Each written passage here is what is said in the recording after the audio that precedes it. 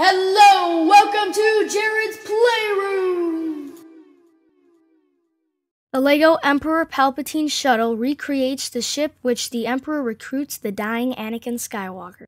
One of the things that stand out about Emperor Palpatine's shuttle is the finished piece's overall size, which is 19 inches wide and 7 inches tall. The wings, which open to hang at a down angle from the ship, are a bit over 7 inches long.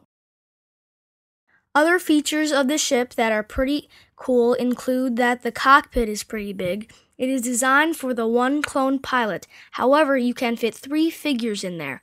Pretty unique to this set, the cockpit lid, which is different from many other sets I have ever seen. A standout feature of the ship is removing the top piece that covers the whole of the ship removing the top piece by flipping three hinges and exposing the ship's inner workings, including the medical bay where Anakin is transformed into Darth Vader. One of the cooler features of the ship is the way the Anakin figure can be set on the medical table, gliding his helmet on. The newer Emperor Palpatine figure has quite a few upgrades, such as the longer lightsaber, the hood is longer, and the face has more details than the past sets. Also, the torso is a lot cooler and it has enhanced paint details. Another very cool figure in this set is Anakin Skywalker.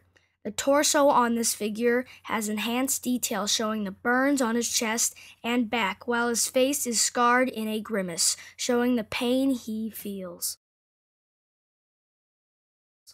The 2-1B medical droid captures the way the droid looks. They did a pretty good job on the head, and they have the body right. The legs have a U-joint where they connect to the body, and it's not very stable. When I place it on the ship and take it off, the legs easily separate from the body. I fixed this, this by finding another pair of legs from my spare parts. The Emperor Palpatine shuttle is a very cool set with 592 pieces. It took me two hours to build, and it has a medium difficulty for a new builder, though for myself I found it very easy. Emperor Palpatine shuttle will become a part of my permanent collection. You will enjoy this set very much. Well, this is Jerad signing off saying keep playing.